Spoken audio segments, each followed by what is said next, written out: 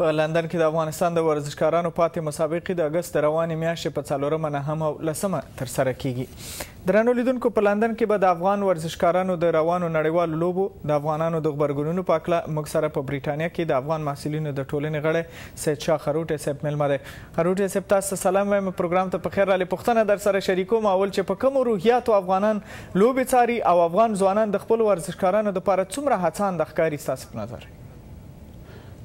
مننه اشنا صاحب لمړی خو زه خپل سلام او نیکی هیلې تاسو ته او تاسو د ټلویزیون کتونکو ته وړاندې کوم د او خپل د افغانستان هغه لوبغاړو ته چې دلته په لندن اولمپیک کې برخه اخلي هغه ته مبارکي وایم چې هغه په داسې کچه باندې دلته رسیدلې دي دی افغانانو ډیر زیات خوشاله دي په برتانیا کې لکه د په نور نور نور نړۍ کې چې خپل لوبغاړي د په داسې یو غټ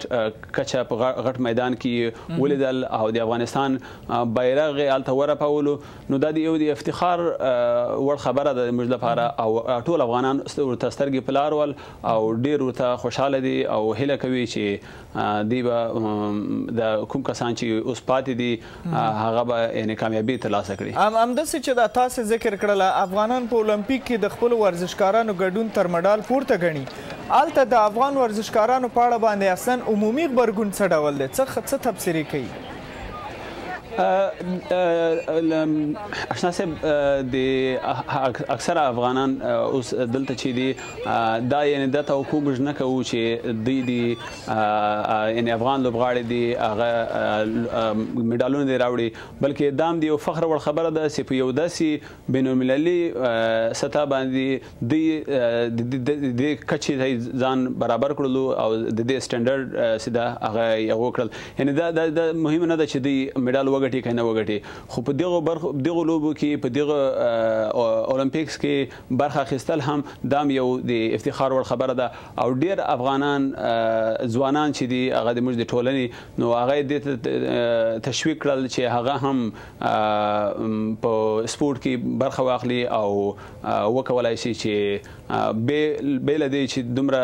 د سره روزنې نشته دومره اسانتیاوي نشته لکه د نورو هوادونو له ټیمونو سره له لوبغاړو سره خو بیا هم دوی وکولای شول چې دلته ځان راورسوي او موږ هیله لرو چې دا کوم کسان چې پاتې دي هغه به بریالي هم شي بله د دې د دې تیرو څو لوبو د لیدونو نه وروسته تاسو څه پیدا کړل څه ارزونه واخستله چې باید د دې نه وروسته افغان ورزشکارانو ته یعنی تاسو په نظر کم امکان باید زیات شي چې وکړی شي د سرو زرو د مډال ګټلو جوګه شي او په نړیواله کچه باندې خپل لوړ توان او ظرفیت به وخی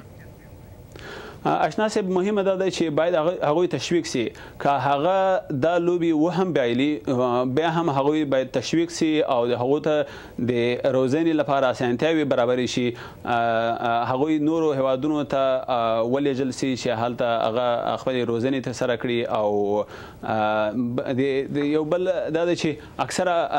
لوبغاړو سره هم دلته چې راغلي ول او موږ خبرې سره کولې نو هغو هم دا یو ګیله کوله چې له هغو سره هغه اسانتیاوې نشته چې هغوی هغوی سره باید وي په دومره لوړه کچه په اولمپیکس کې برخه اخیستلو لپاره باید هغوی سره ډېرې زیاتې اسانتیاوې نو موږ هله کوو چې دوی سره دوی ته باید زیاتې روزنې وشي دوی ته د نور دوی د نور هوادونو ته د روزنو لپاره ولېږل شي او دوی په دې باور باور لرو چې باوجود د دې چې له دې سره دومره اسانتیاوې نه وي خو بیا هم دې حد ته رارسېدلي دي چې په المپیک کې برخه اخلي نو که دوی سره لږ یو څه ناڅه مرسته وشي یو څه ناڅه زار وکښل شي نو دوی به په دې به وتوانېږي چې نورې لاسته راوړنې راوړي. ګورئ، تاسې د ځوانانو یو نمایندګي کوئ، هلته د ځوانانو د ټولنې غړیتوب لرئ، په بریټانیا کې اوسېږئ، د اروپا زړه دی، ډېر خلک راټولېږي. داسې هر وخت یې په غرب کې خصوصاً چې موږ او تاسې یې ګورو، د افغانستان نه همېشه ښه خبرونه نه راځي او بل عکس دلته ورکړل شوی دی. اوس هلته د دې المپیک د لوبو سره د دي غيري افغانانو برخورد څنګه وو تاسي سره څه ويي چي د افغانستان کي داسي اتلان هم شته دی چي د په دسي نړيوال سټيج کي کولي شي چي د د اول مقام د پاره يعني مبارزه وکړي.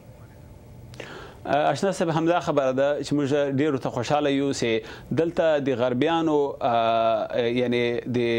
برتانیې دلته چې موږ غربي ملګري دي هغوی د هغوی د فکر بالکل بدل شوی دی د افغانانو په حقله مخکې د افغانستان